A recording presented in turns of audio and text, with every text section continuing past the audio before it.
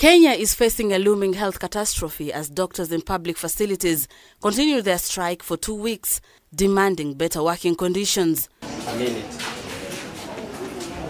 Meanwhile, the Kenya Union of Clinical Officers has issued a seven day strike notice accusing both national and county governments of failing to keep their end of the bargain.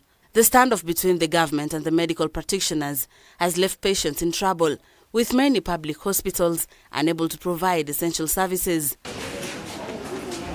In response, a group of members of parliament has given the Health Cabinet Secretary Susan Nakomisha a seven day ultimatum to resolve the crisis or face impeachment.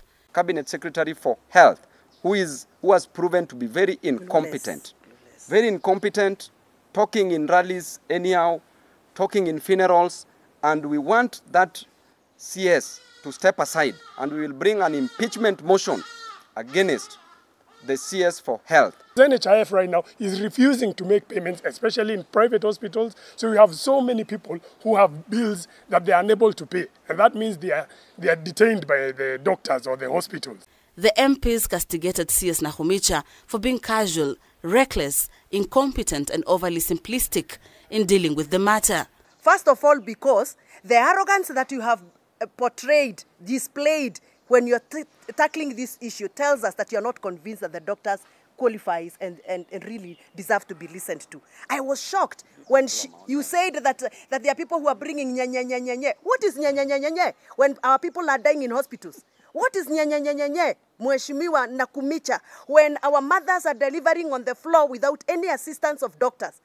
They have also criticized the silence from the executive, deeming it deafening, and they want President Ruto to intervene and prioritize the well being of Kenyans. We want the government to move with speed and pay these doctors these amounts of money.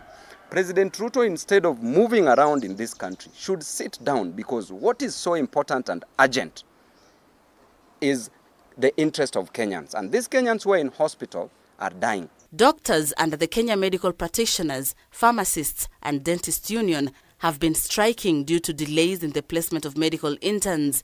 Last week, however, Nahumicha dismissed their demands as unrealistic, reiterating that the ministry's hands are tied on the issue of interns placement, sentiments that have elicited mixed reactions from leaders and stakeholders.